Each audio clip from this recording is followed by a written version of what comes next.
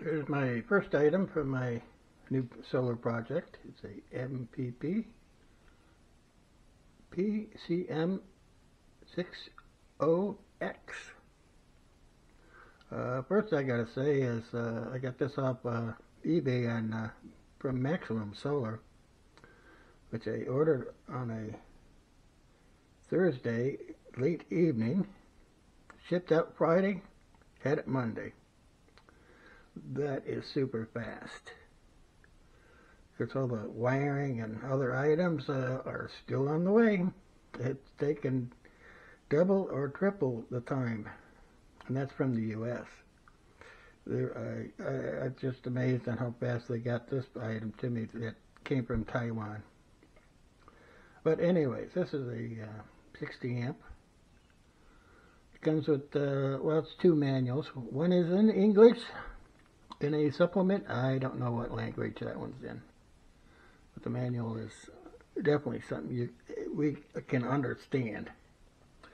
Comes with the computer cable. Hook up your computer. Put your tracking software in there, and you'll be able to adjust all your functions. This is the wire for the battery sensor and it comes uh, with the little clip here for your ground wire which uh, goes on the side over here. Uh, let's open it up here and it's covered by your uh, wires that's all covered. It's uh, kind of plastically uh, plastic and a rubber definitely uh, a heavy piece of metal. Nothing cheap. Your uh, cables go in these here. You have uh, solar plus, solar minus. That's a battery minus and battery plus. They go up to 2 gauge. I have a 4 gauge uh, coming for them, but you can put up to 2 gauge in it. Um, you can put a battery temper temperature sensor right here. Uh, that's still on the way. Most most of my stuff is still on the way, but I just wanted to show this off. I am very impressed with this unit. It does not have all the little bells and whistles and all that great electronic doodads, and but that's why I bought this. It's simple. Not much to go wrong with it. Being a mechanic for 50 years,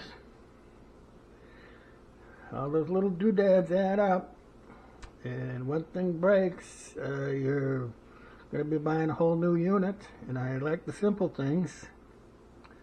Um, each piece is going to do a function.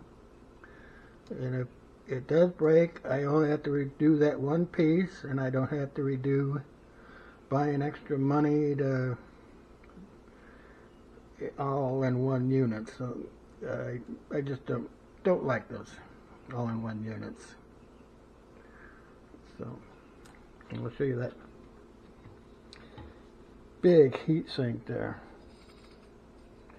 that is going to do some nice cooling. Because your mounting holes are right here. Very simple to get to. Same thing on the uh, top.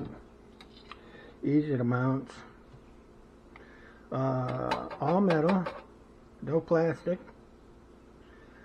Um, I'm just not into the plastic stuff myself. Uh, even this metal case, now this is going to dissipate heat. Of course, this is your main, what, what is going to dissipate your main heat here, but even up here, this will dissipate heat. And that plastic's not going to do that. So, and, uh, kind of a computer nut too. I, I do like that I can sit here and watch what's what's going on my computer. Sit there and watch watch it on my desk and I don't have to get up and watch this all day or you know we all like to do watch what what our equipment's doing.